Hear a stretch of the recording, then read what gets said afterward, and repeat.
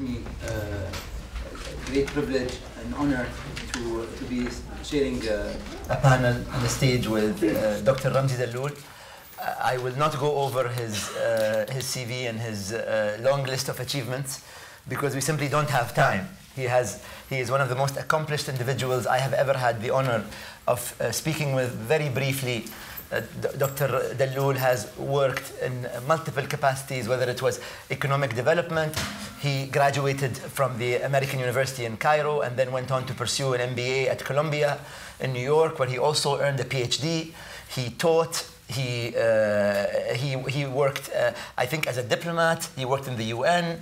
Uh, he was an advisor to many governments uh, on developmental affairs. But we are not here for, for all of that wonderful achievements. We are here to talk about uh, Dr. Ramzi Dalloul, the collector of art from the Arab world. Uh, and we will try and talk about his personality and as well as talk about some of the artworks that he has kindly shared with us. Uh, Dr. Ramzi, welcome to the Whitechapel. Welcome uh, to to uh, to this panel. Um, my first question is, why do you collect art from the Arab world? First of all, I welcome all those who have taken the trouble to come and attend this seminar. And uh, I thank my friend, the Sheikh here, for the kind words that he has said about me. And uh, as you have said, uh, I am an intruder when it comes to the art scene. I have had uh, some interest in art when I was young. My mother was an artist, but in a very limited and naive way. Maybe I have got her genes uh, or DNA in one way or another. Uh, but I had always uh, this penchant for appreciating good art when I see it since I was very young.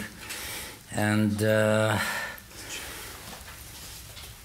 I did many things in my life. The least of all was collecting art. This happened uh, in the last 10 years, maybe a little bit earlier, when I went to Iraq to implement one of the projects that we have done for the region, and that was titled Reversing the uh, Arab Brain, uh, the brain drain, reversing the brain drain that was draining to the west.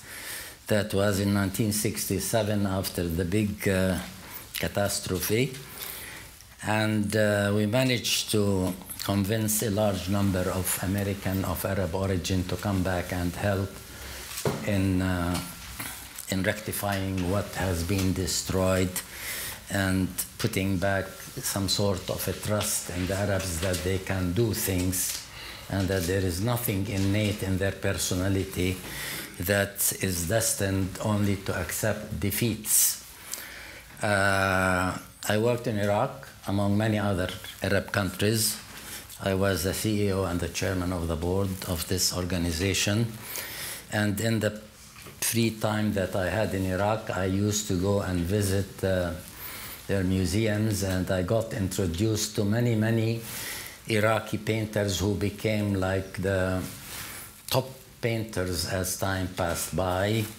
At the time, they were all very young chaps رافع الناصري ضياء العزاوي صالح الجميعي uh, شاكر حسن آل سعيد uh, all uh, all the big big shots some of them are still with us and some of them have died and since then I started collecting in a very limited way uh, Iraqi art uh, and that was the very in very beginning of my interest in collecting art.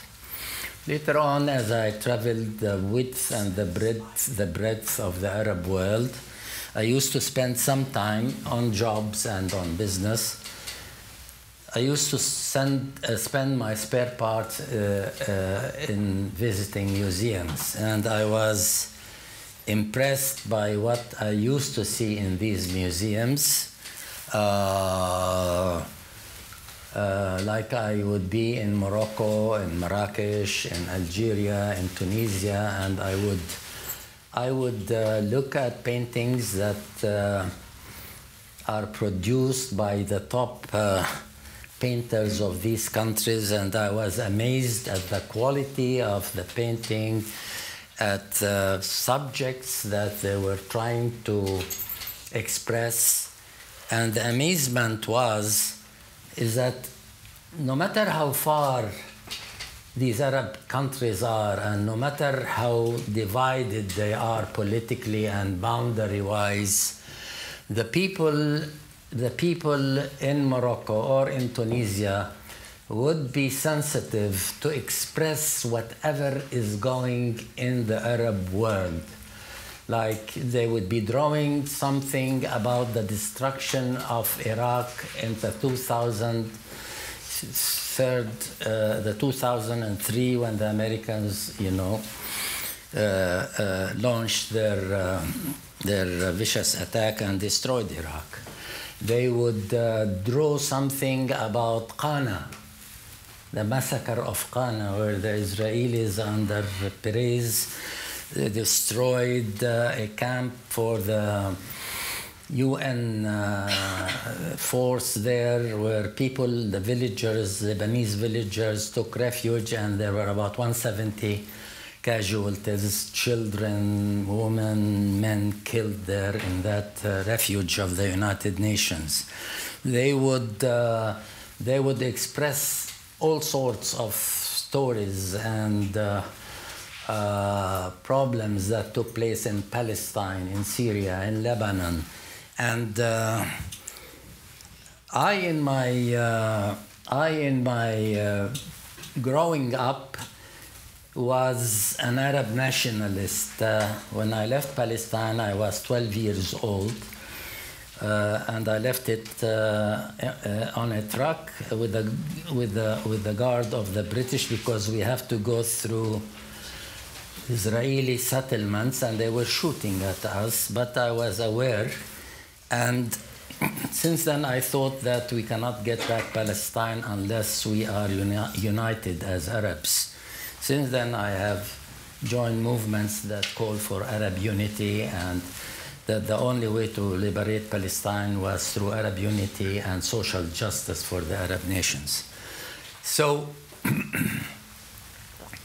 that shaped my that shaped my thinking and that shaped my my views when I was visiting these museums was in the different Arab countries we don't need parties to go and preach their doctrines or their party platforms to convince the Arabs that they are one nation. These Arabs, everywhere in the Arab world that I have visited, were already convinced by the common language, by the common history, by the common pains and problems that they were facing, by the common religion, by the common uh, uh, experience that they were uh, having at the hands of their tormentors, whether it is Ottoman colonialism or French or British or American or Israel they felt that they are one and they would intuitively, without thinking, without being indoctrinated by anybody, act as Arabs, act as Arabs, as unified Arabs. I don't want to go into details because I talked a lot with these artists and people there, and they would express this in the most potent and the most effective manner to prove that they are all one nation. We are all one nation, but we have been divided, etc.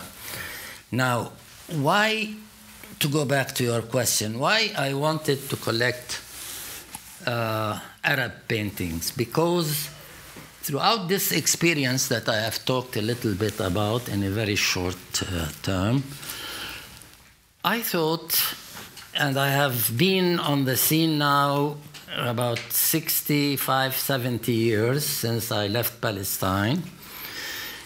And I've tried all sorts of ways of struggle, of working for my nation, besides my professional work uh, that I've been trained for, and I have many achievements to that, to, in that credit area.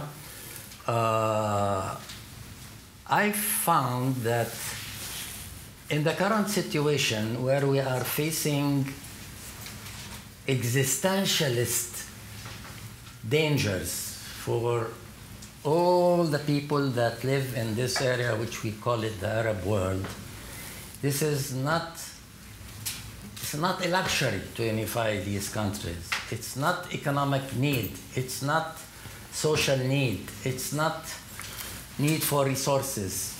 There is an extent, existential threat that really threaten all these people. And governments are not in that area. Many of our rulers are not with it. As a matter of fact, probably they are against it, and they welcome this destruction and all that for interest of their own, very narrow interest, like happen, what happened in Andalusia, Muluk al-Tawa'if. Some of them sided with the enemies and destroyed their brethren, and this is what's happening. I thought that the only way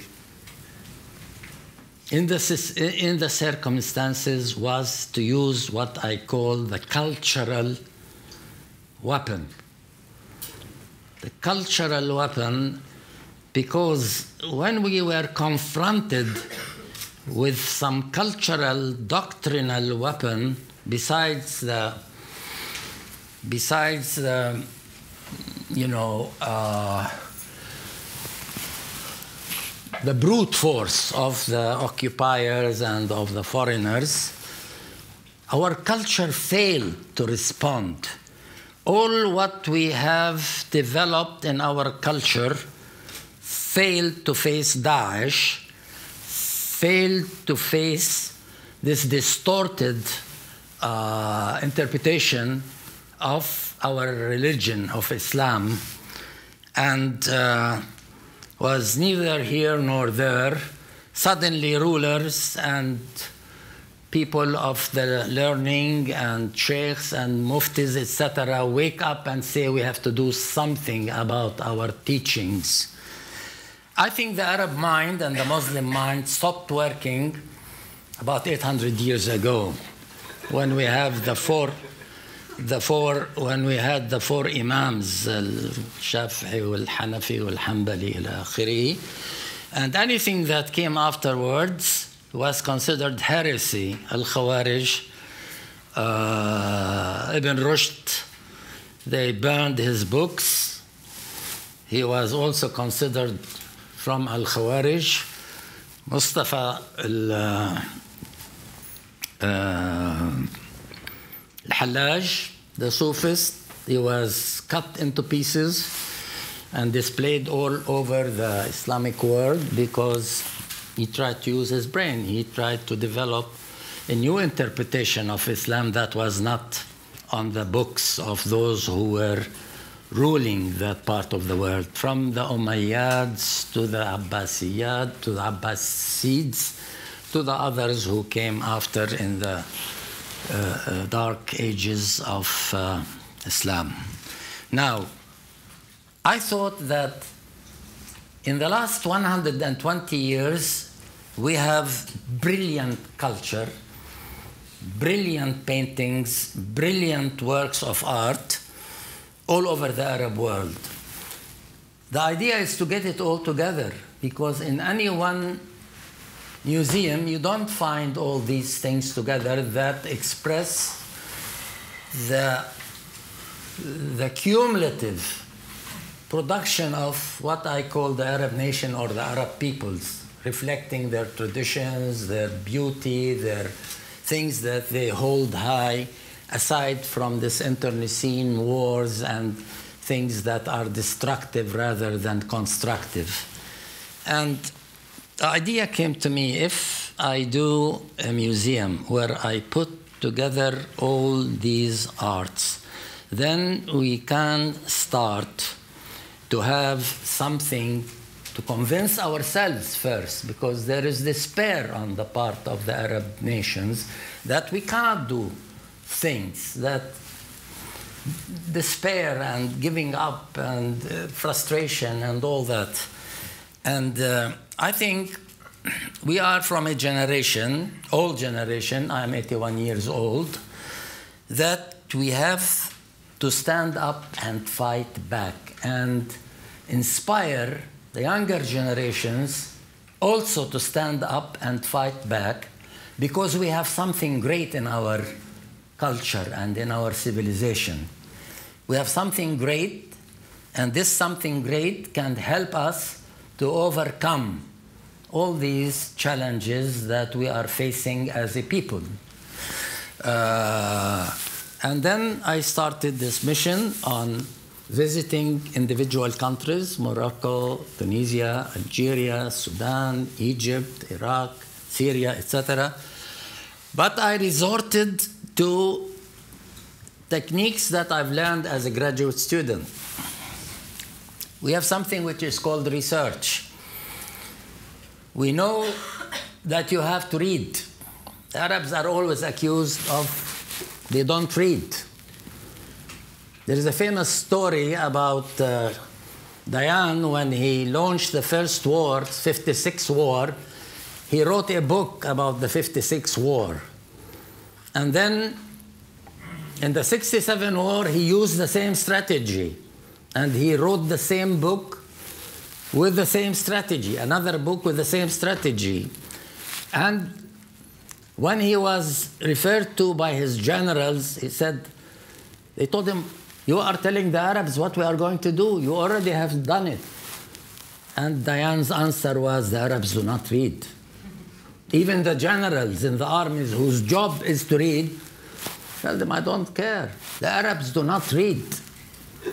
Okay? This is one of the sad things about what we should not be doing in order to really rise and respond to these challenges that are facing us.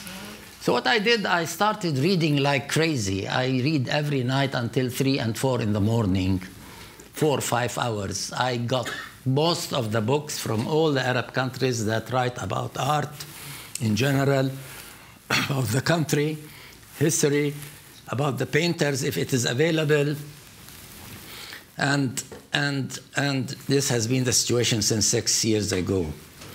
And now I claim that on the job and by teaching myself, I can, I know a lot about Arab culture and Arab paintings and Arab sculptures and who's who, etc.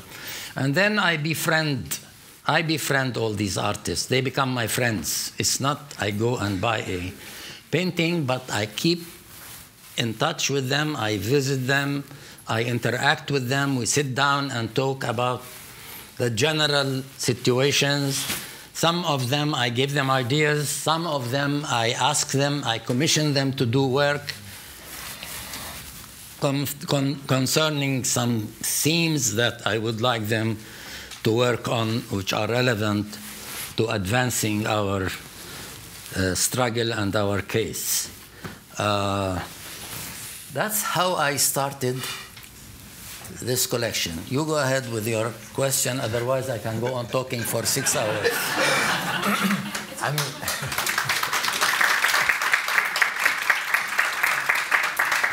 I, I, dare not interrupt you when you, no, no, you no, start speaking. I, I actually enjoy this. But what I will do now is, before going into one of the other serious questions, I think I will give you an art break.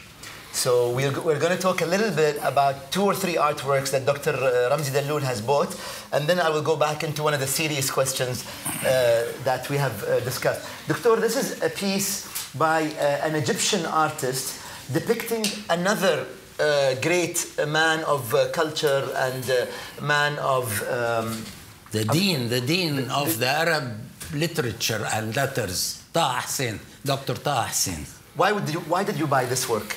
Because I tell you why. One of the titles that I was contemplating for the name of this organization, uh, I called it, uh, we might change, I don't know, the Arab Cultural Foundation for Fine and Performing Arts. So the word cultural is important because when you come to the vision and all that, we'll talk about it and the objectives. Uh, you cannot have art in the way we know it, in the narrow sense plastic art, uh, sculpture, installation, video, film, whatever, you know, all these new expressions, uh, uh, uh new artistic expressions of art without theory, without culture behind it. And the culture, as you would see from many of these paintings, is in the paintings. Mm-hmm. I thought that somebody like Taha Hussein, whose contributions are well known all over the Arab world, in the modern period, in the Asr al-Nahda, yani, the Renaissance, in the 19th century, would be befitting to have a statue for him mm-hmm. At the entrance of this cultural organization, come art, come performing arts, etc. I have asked, I think, this doctor, Professor Ahmad Abdul Wahab, who is sit, standing there. He is 87 years old, he's retired. I spoke with him about my vision. And you know, he is in retirement and uh, he contributed most of his artwork to a uh, Bibliotheca in Alexandria. That's the library that was put in instead of yeah. the one that started by Alexander the Great and was destroyed. All his artwork, he contributed to that, and there is a big section under his name. So he accepted. And look at him, 87 years old. I love this man. He has the face of a baby. Mm and an angel. I mean, uh, this is this is one of the most important artworks in the history of the uh, Arab art uh, yes. canon. It yes. is a tapestry of uh, a work by uh, Dia Azawi that you are creating in in, in Madrid. Uh, this work uh, titled Sabra and Shatila was originally created the, the, in the early 80s. The, well, Sabra and Shatila uh, took place in 82 yes. on the 17th of September, the massacre, yes. when uh, Sharon and his group surrounded the camp of Sabra and Shatila when they uh, reached Beirut. Yes. And then they asked uh, the phalangists uh, to come and, uh, you know, massacre. They massacred about 4,000 uh, Palestinian refugee, children, women. Uh, it was uh, a massacre unprecedented in the annals of history. And, uh, and the Azawi did this seven and a half meters by three meters uh, uh, picture on paper. And unfortunately, the paper he used at the time was not antioxidant. So with time, even with, with the lights in the rooms, it started to disintegrate. So I told Dia is a very close friend of mine. I told him, Dia, I, I know I know that uh, Nelson Rockefeller asked Picasso to do uh, the Guernica, which is the story of destroying the base of the Republicans who were fighting Franco at the time, the dictator, the Nazi, fascist, etc. And he allowed him to do it. He allowed him to do it. So I got the idea from there. I told Dia, I want to do this like Nelson Rockefeller did the Guernica. And this is called the Palestinian or the Arab Guernica. And it, we will keep it for thousands of years because this is, this is being woven the way thousands of years they used to weave the tapestries. It's a totally different way and it takes time. This will take three years to finish, but it is superior to anything that the Al Azawi has done. So every now and then, every now and then I go and visit them every now and then I go and visit them and make sure that they are making progress, that, uh, You know, I, I also encourage, there are 12 weavers who are working on it. And, you know, I take them and salute them and say speeches to them. I say, you are part of history now. The Minister of Culture in uh, Spain, he knew about this. He asked me if, when this is finished, if I, if I mind lending it to them so that they will exhibit it alongside the real Guernica of Picasso. Fantastic. I said, look, I mean, you are humbling and humiliating me. I mean, of course we will accept. okay. I mean, I, am I mean, I'm going to go on a slightly faster pace. Go, go, Because go. we have some masterpieces that we want to spend no more than Go, one maybe. minute on. So, so we're, we're going to try. بناء على طلب الجمهور خلوك خليني احكي اكثر We might go overboard. I mean, uh, this artwork is a very special artwork, I know to you. So this work is uh, a masterpiece by Khalil Gibran, the philosopher. Most of you know him through his uh, writings, such as the book The Prophet. But many of us didn't know him as an artist and a painter, although they has a, they has a museum in Bsharri in Lebanon. I mean, this is a rare work that came هاي to auction. مسز مسز شو اسمها حطينا اسمها Uh, her name is uh, Mrs. Alexander Morton. Morton. It's a work that's from 102 years ago. Yeah. Why did you buy this work? I'll W- tell What you. is the importance of this work by I tell, Khalil you, Gibran? I tell you. Every 25 years, one of these colored paintings of Gibran, Khalil Gibran, surfaces. And this surfaced after 25 years from his colored work. And it's a beautiful, this does not make the painting any justice. You have to see the real thing, really. Uh, again, Gibran, Khalil Gibran, okay, is a famous Arab thinker, poet, philosopher. Okay, he has many uh, uh, books to his credit and yani, proverbs, hikmi, judgment, ila akhirih. Is a man of wisdom. And since I'm talking about a cultural institution, and in Lebanon, I think Gibran has to be there. I'm doing a statute for Gibran now. They send me today the some maquettes and all that. And I would like one painting of his to be there alongside his statue. But this is a story which is very interesting. You, I, I, you know, this is not here or there, but it's an anecdote which I like to say. You know, when I was bidding on this, I would like to tell you as a secret who was bidding on it against me. Some of them. Huh? Huh? No. No. Uh, the richest man in the world. Carlos Slim. Carlos Slim was bidding against me on this painting. And he stopped at 100,000 pounds. I continued, I got it at 150,000. Okay. Okay, we're gonna. Congratulations. Congratulations. Because, because I know what is its importance to us in this Arab Cultural Foundation. That would be placed in Lebanon. You know, Fuad Gibran, uh, Khalil Gibran is a Lebanese, and if I put Taha Hussein and Gibran is not there, I don't know what they will do. I mean, I, I, mean uh, I will use uh, I will use that uh, uh, uh, statement you just gave to ask you uh, very briefly. Hopefully, you can do it in less than three minutes. Why, why, why did you choose Lebanon? Why didn't you open your? Why aren't you building your museum in the Gulf? Why don't you build your museum in another country? Why Beirut? Why Lebanon? I was offered, you know, to go to Sharjah. I was offered to go to, um, no, no, not Amman.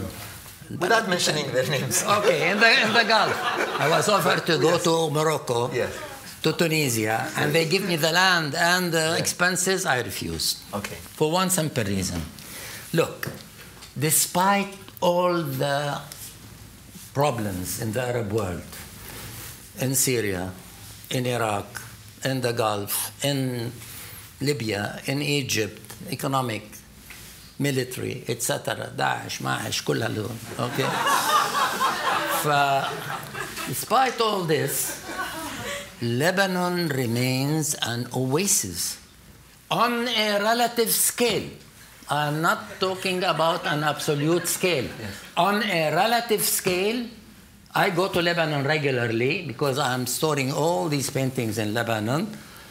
On a relative scale, Lebanon is an oasis because, first of all, the Lebanese are the highest, highly educated in culture. They speak all the languages that you'd like to hear French, English, Arabic fluently. And these are the three main languages, and then you, Italian, German, Spanish, etc. It's all there. Even some African dialects from the immigrants that come and go. And they have universities, they have schools, German schools, French schools, English schools, American schools, Italian schools. And there is a fantastic degree of freedom. You have papers that write from the extreme left to the extreme right. You have TV stations that represent every single current of thought in the country and outside the country, extreme left to extreme right. So, I mean, art cannot flourish except in an environment of freedom and democracy. This is what we miss in the Arab world.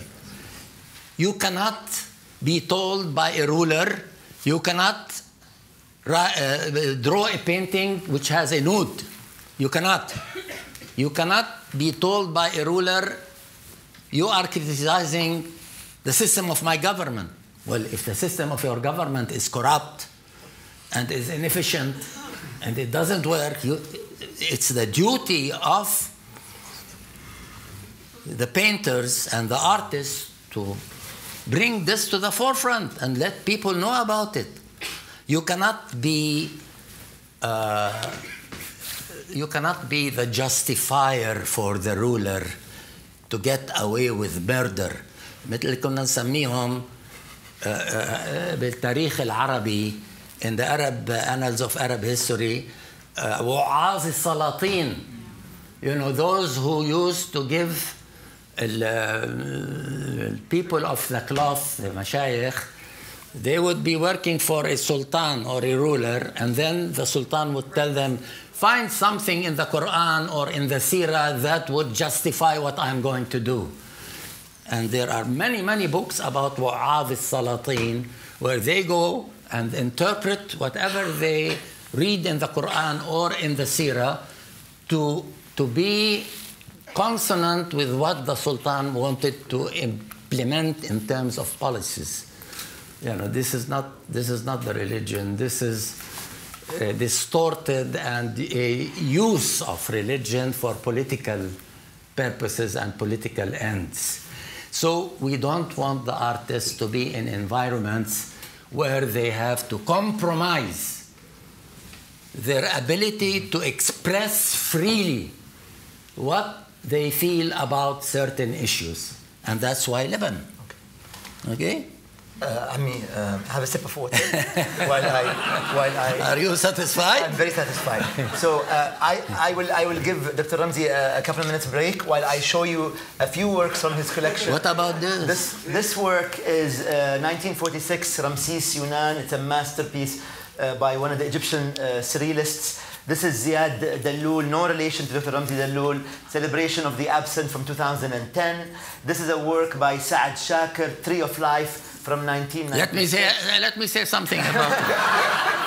بس عمي في في أعمال أهم لا لا لا لا هي مهمة أنت مش عارف قصتها عشان هيك تقول في أعمال أهم This was ordered by the, the most famous آه شو بسموه هدول اللي بيشتغلوا بال كرافتسمان لا لا بالطين وبالقصص وبال سيراميست سعد شاكر is the most important ceramist in the Arab world. He died. His son is Delir Shakir. is he's an artist.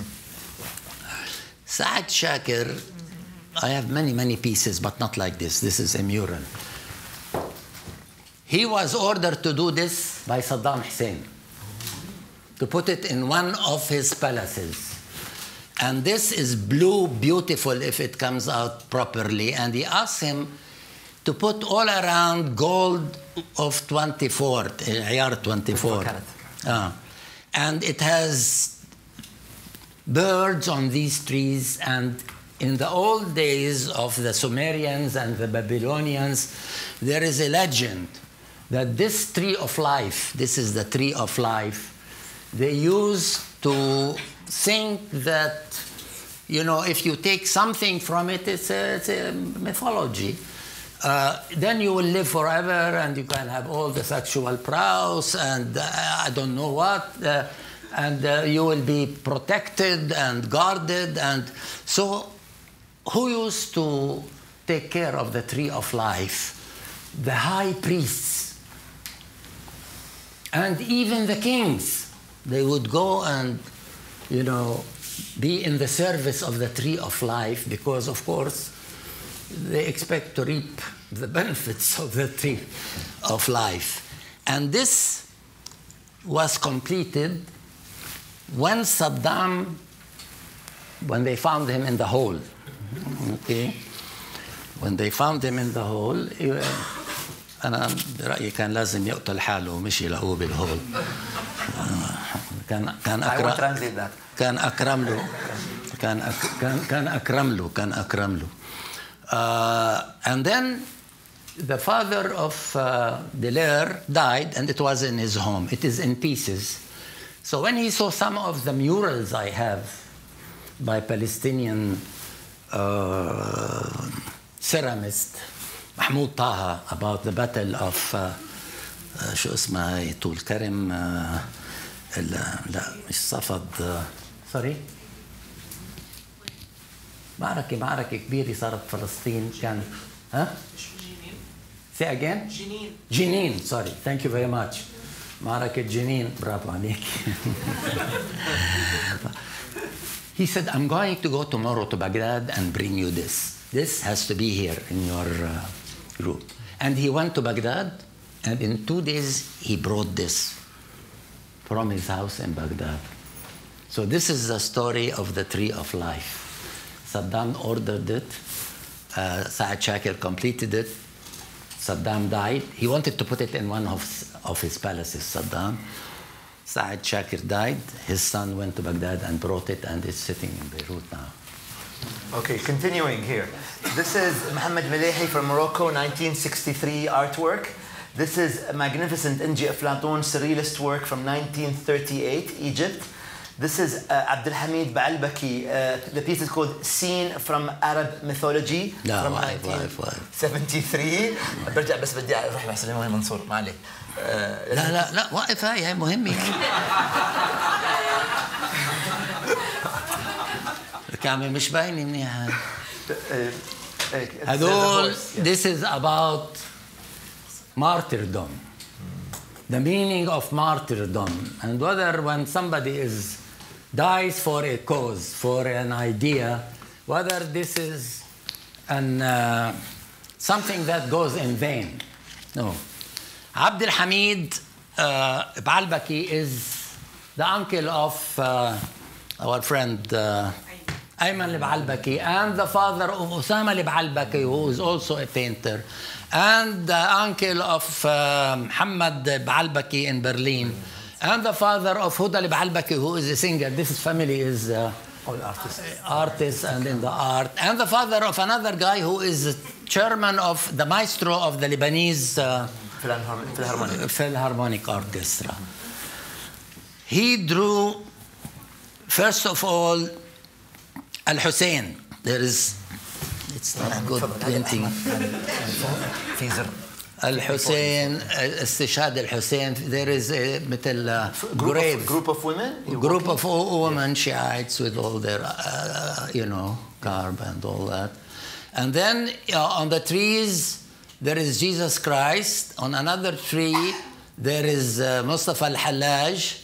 and on another tree there is a Palestinian, and on the f- last tree there is a woman.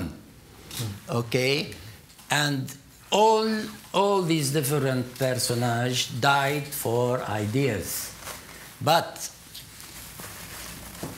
Abdul Hamid, uh, sorry, he had this white, the white horse, creamy horse, the white uh, uh, pigeons, the, the greenery, it doesn't show at all here, uh, which says, okay, with death, they have died for something which is worthwhile, and we are optimistic. Their souls will produce flowers and further people who would really die for ideas in order to maintain principles and all that. This is. Uh, it's a magnificent work. Uh, this is this is the same guy. I tell you, this is very important. He say the barren, the barren forest, and Al Hattab, the woodman. After the '67 war, and this happened in reality, Abdul Hamid Balbaki stopped painting in protest. Some, paint, uh, some poets committed suicide مثل خليل uh, الجامعة الأمريكية شو اسمه لا لؤي كيالي وبعدين في خليل كان أستاذنا مش عارف انتحر إنه كيف خسرنا حرب ال 67 هذا راح على الغابة وخبط.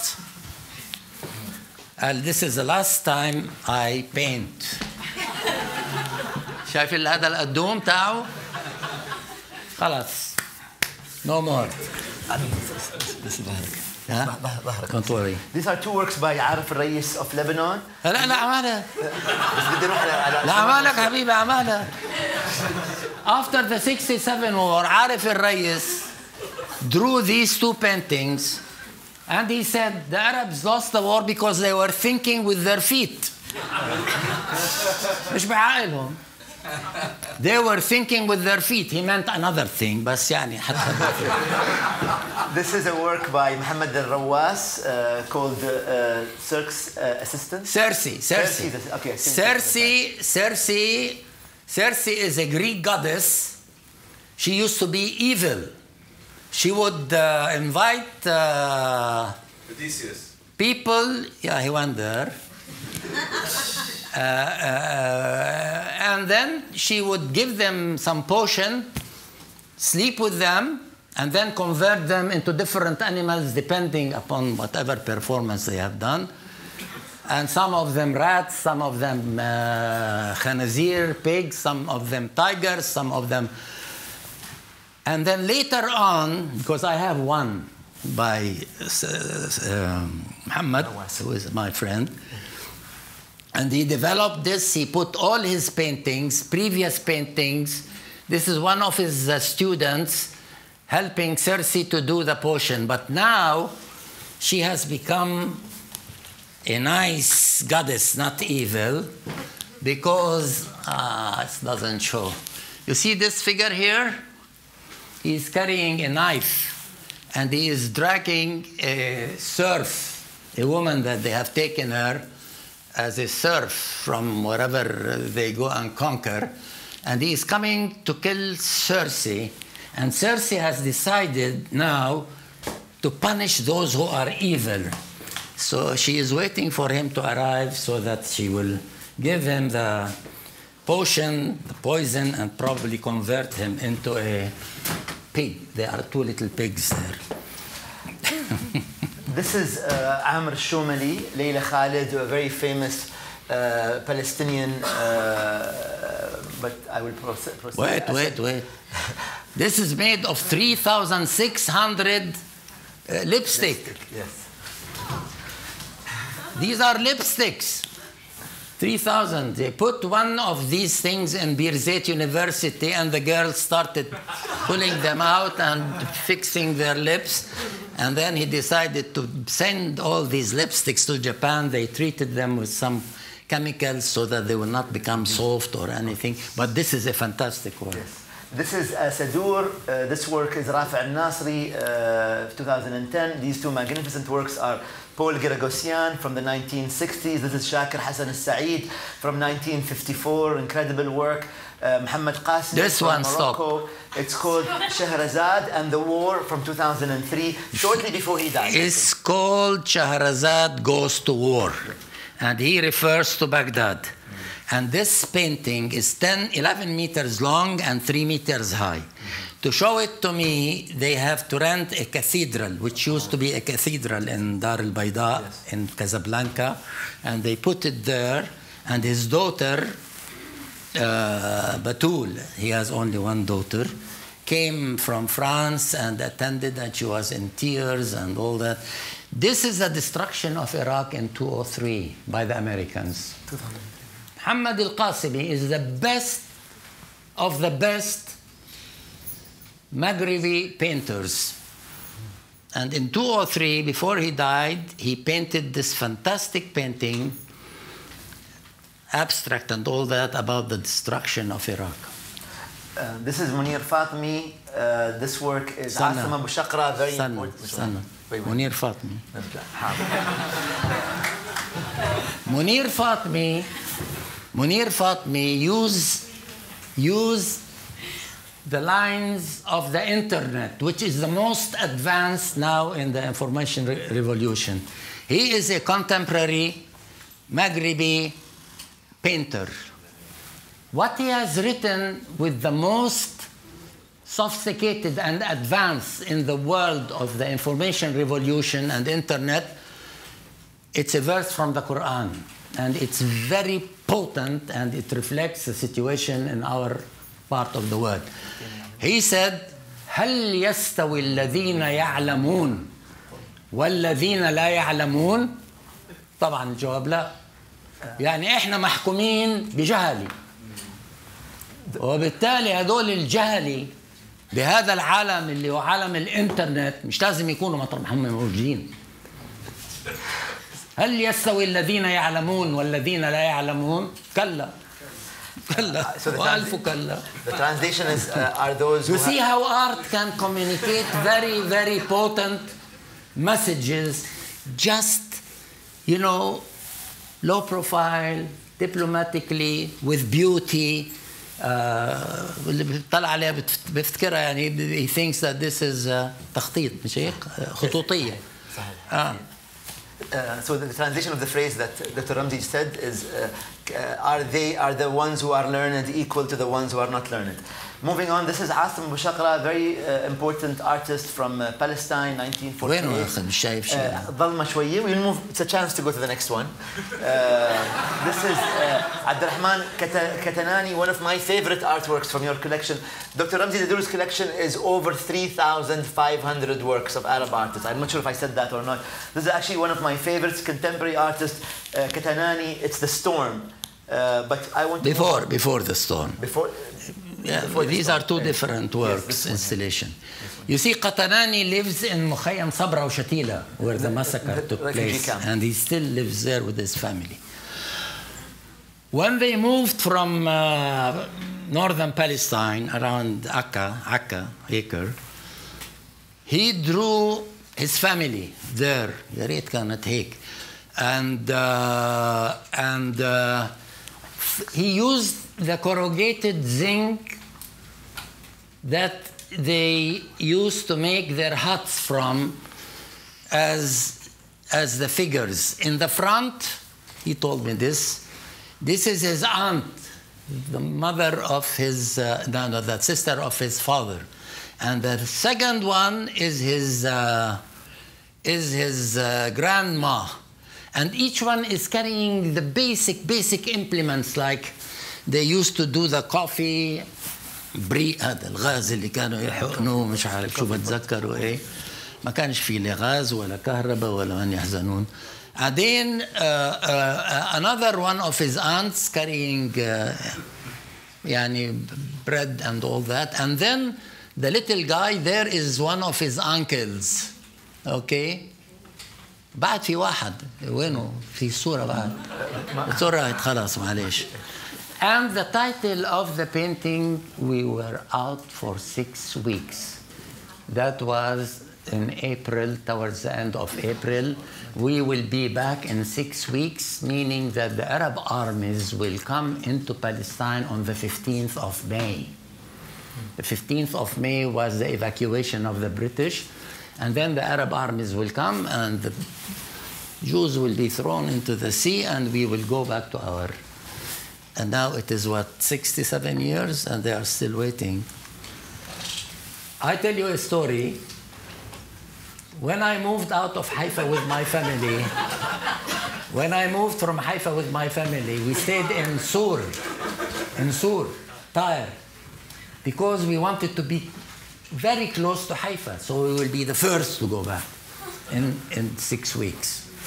We are still, we are in uh, Beirut, we are in uh, London, we are in, in, Canada, we are all over the world now. I, Ami, uh, I think before I ask you about this particular artwork, I'd like to go to a couple of questions. Yeah, fine. And, so, do do I mean, as we said, you have three and a half, upwards of three and a half thousand yes, yes. artworks, and it's not just the quantity, it also is the quality, which will bring us to this work in a couple of minutes.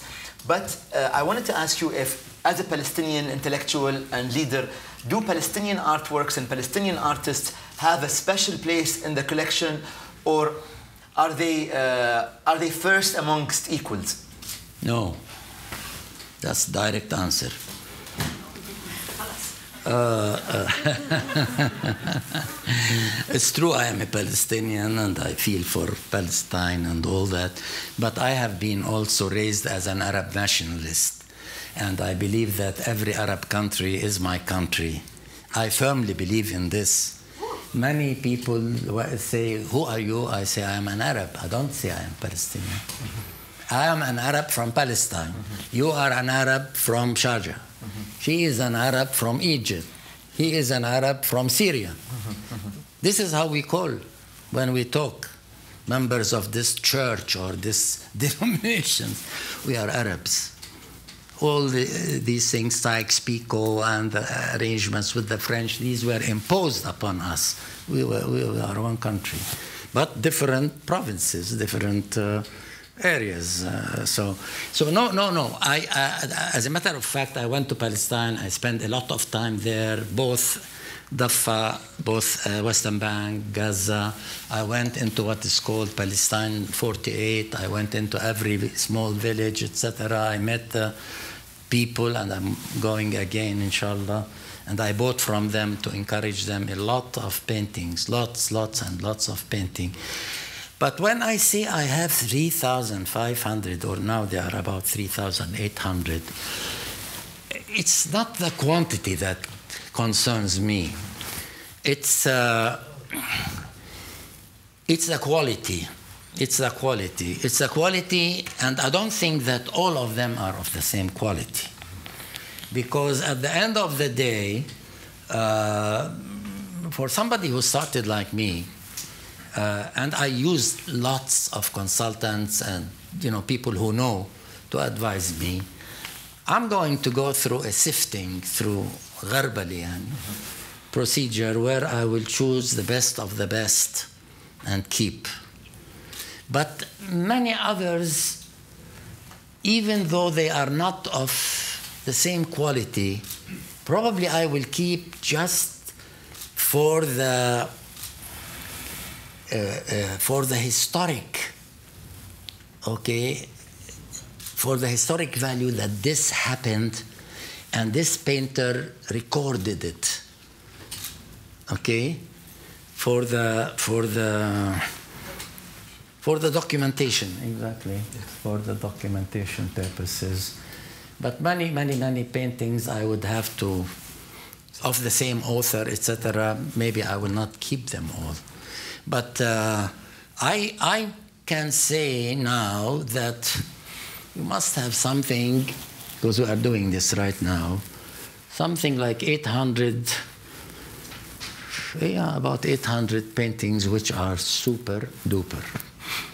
A plus. A plus, yes. Um, and we are we are in, in the process of uh, putting up a book which has a selection of 400 of these super dupers. We want to use it. We want to use it as a visiting card instead of sitting and you know we'll send it ahead of time and say, well, this is what is in the collection, but with write-ups and explanations and all that. And it will be a first-class book. Wonderful. This is introductory because we are planning to do books on all our collections, the Algerian, the Maghrebi, the Syrian, the Saudi, the etc., etc., etc. I mean, uh, the, I want to ask you about this artwork, and we kept it to the end because this, for you who don't know this artwork by Suleiman uh, Mansour, is called Jamal al Mahamil uh, is the most recognized artwork perhaps the from icon, the Arab world. Icon, the icon. The icon. It is the probably the only artwork that everybody knows from doctors to to, to taxi drivers, to construction workers in the Arab world, they recognize it. They don't know the name. They might not know the name of the artist, but they know that this is the work of the man who's carrying something on his back. And I want to ask you Doctor, to maybe elaborate as a last question, to elaborate on the importance of this work, and, and you fought for this work, and you, uh, it is now one of the crown jewels of the, of the collection, and one of the most recognized artworks and icons from the Arab world. Um, Look, uh, uh, this, uh, this painting got the reputation that it deserves because it represents a, a it represents how the Palestinians feel about their homeland, no matter where they are, whether they are in diaspora, whether they are in Western Bank, whether they are in Gaza, whether they are in Australia, whether they are in Canada, in America.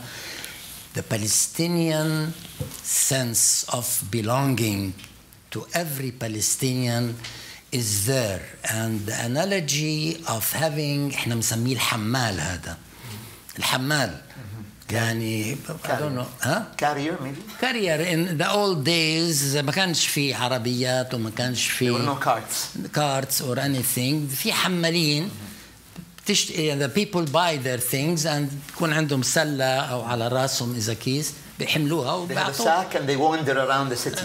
And that these uh, these ropes and then يعني the the people porters porters would take them to their home and pay them a few pennies and all that. Ahna, we are likened to the porter who carries these heavy things, okay? Because Palestine is in our blood, Palestine is on our mind, Palestine is in our heart, Palestine is in our feelings. Palestine, no matter where we go, no matter what we do, Palestine is always there. And this is the value of this iconic pictures. The Palestinians carry Palestine with them everywhere they go. Every, no matter how heavy it is, no matter how much problems, difficulties they face, Palestine is ours. Okay, from now until eternity, until we go back. If I have grandsons, they were born in Canada, okay? You go to my home, I take you, ask him, who are you? 10, 12, 16. They will tell you, and they were born in Canada and they carry uh, Canadian. We are Palestinians. And their sons are going to do the same, and their grand grandsons will do the same. So this is the significance of this painting. Thank you very much.